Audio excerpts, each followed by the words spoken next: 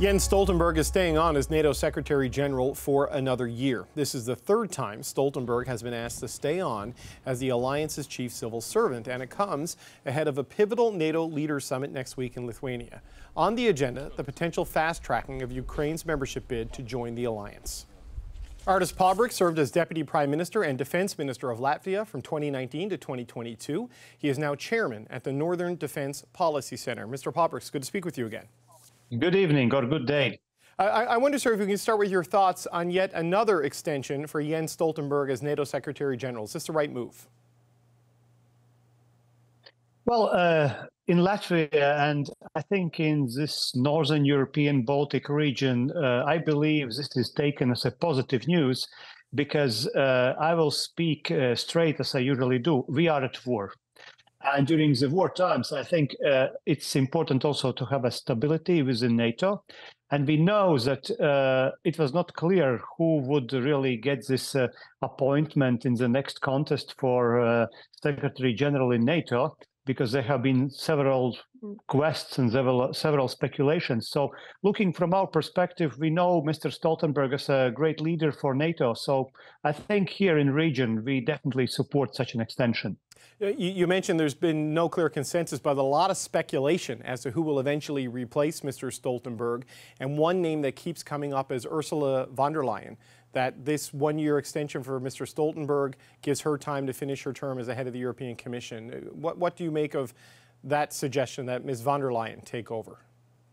Uh, she could be a strong candidate. I know her personally very well, and uh, uh, if you have a little bit of time, I could try to quickly speculate. You see, the war in Ukraine, the Russian aggression, actually put on the front line, uh, also in NATO, the questions uh, from which region should come as the next Secretary General. And of course, uh, here in the region of uh, Baltic states and Poland and Northern Europe, we very much would like to see somebody from this part. On the other hand, we know that uh, there are certain differences between North and East Europe on the one side, and maybe the Western and Southern Europe from another side.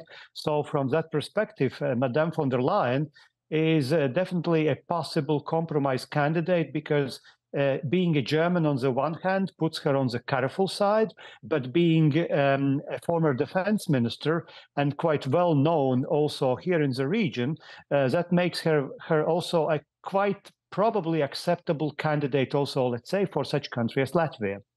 Interest, that's an, an interesting way, way, to break it down because it, all of this comes, of course, as NATO leaders uh, prepare to meet in Lithuania next week. And we know that a lot of members, they want to see some clarity around Ukraine's future membership in NATO. What do you want to see in Lithuania? What do you expect to see? Well, uh, I am realistic here, and I understand that uh, in Vilnius summit there will not be clear words saying that uh, Ukraine will be accepted now, because of course, until uh, Ukraine is still waging war, uh, there will be no consensus to get the country in. But what we want from the Baltic side, and what is actually the only right uh, way is to tell Ukraine that yes, we in principle uh, see you as a member of NATO, and we will do everything for you to make you win this war because we must end this war. And this war cannot end with Russian victory, so it must end with Ukrainian victory. It's very clear. So there must be these messages. And secondly, we know that Ukraine is searching for the interim time kind of bilateral security arrangements because a part of NATO, there is not much who could give security guarantees for Ukraine. So I believe that it will be very important to find a consensus in Vilnius about the wording in final NATO documents, how they will reflect the Ukrainian path to membership. There, there is some public reporting, though, sir, suggests the alliance is divided over this question of Ukraine's membership. The United States, for example, President Biden has said he, he doesn't support a, a fast track for Ukraine into NATO. What's your message to, to those who are against providing this clarity or the clear path to membership for Kiev?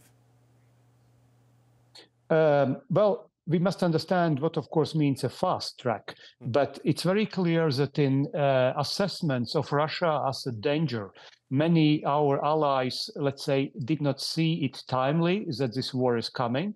This is why they were turning also to such countries as Baltic countries, to Latvia, uh, to asking for our opinion immediately after the 24th of February when war started. Uh, I would say that um, what is relevant for Ukraine in this NATO summit. That first of all, we are uh, beefing up support to Ukraine because uh, Ukraine is losing people, it's bleeding with every day when war is prolonged. But uh, to stop the war, we can do only by supporting Ukraine even more strongly.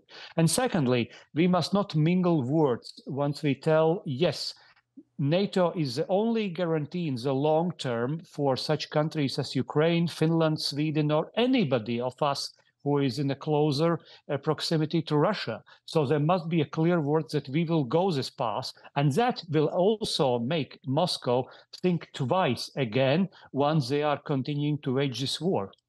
The, the other uh, final issue to touch on with you is the perpetual issue uh, for NATO, and that's uh, Secretary General Stoltenberg's hope that everyone gets a 2% spending of GDP as, as a floor. Uh, certainly not every member of NATO is there yet. What is your expectation for the allies on this spending uh, target at this summit? Uh, I would say that, uh, first of all, we must keep this goal. Uh, and you know, for such countries as Latvia, we already go for 3% spending. And perhaps more. But most important is that first we keep uh, in sight the goal of 2%, but secondly, we do everything to beef up, up our defenses, military industry and capabilities.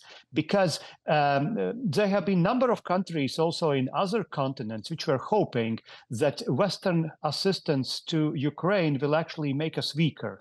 Now it's clear that actually by assisting to Ukraine, we finally start to become stronger because our industries are developing, cooperation is developing, and financing is developing. We have to keep this uh, way, this road, this path, and things will be right.